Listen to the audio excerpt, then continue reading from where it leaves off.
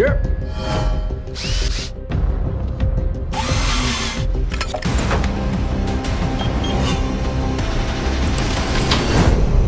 We should definitely hit something big tomorrow. Working that dinner party thing tomorrow night, I told you this. They got a safe in the master bedroom. Yuppie scums won't know where hit 'em. My name is Roxanne Dawson, and like all of you, I'm an addict. It's been a long and arduous battle for me.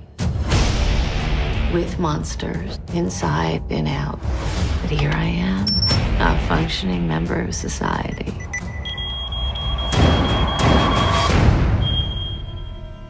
We gotta get out of here.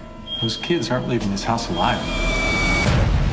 Tonight was supposed to be a reunion to celebrate everyone's cleanliness, but You've been a bad boy. This can't be happening. We're not animals, aren't we? I love this thing.